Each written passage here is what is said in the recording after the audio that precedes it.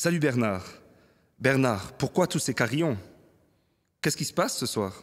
Comment tu ne sais pas? Ce soir, c'est Noël. Noël. Ah, moi je suis tout seul. Mais oui, je me rappelle. La famille, les cadeaux, c'était de très bons moments.